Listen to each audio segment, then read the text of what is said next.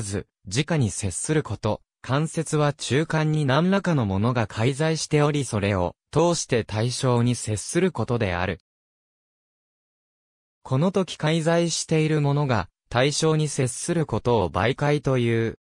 この媒介するものの中には政治における代表者や犯罪の間接性犯、納税の間接税のような個人あるいは裁判の間接主義のような組織も含まれる。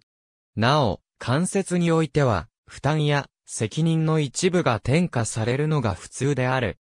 哲学においても直接は、第三者を介さずに対象と接することを言い、間接は、第三者を介することによって関係すること、またあるものが、他者によって条件付けられ、なおかつそれに依存することを言う。特に、認識においては、認識主観と対象の間に推理などの間接的知識を介さずに得た知識を直接的知識という。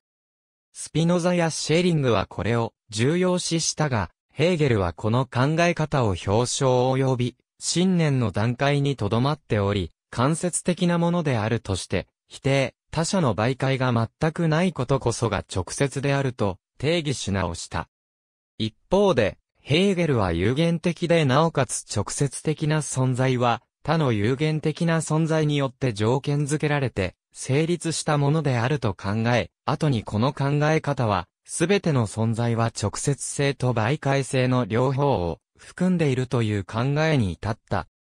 これによると、直接とは、感性的な対象の実在性を示し、主体が対象に接しているということであり、また、媒介性すなわち間接性は、他の存在との関係の中にある対象の実在性を指し、記憶や表彰及び概念等によって捉えられるもので、あるとされる。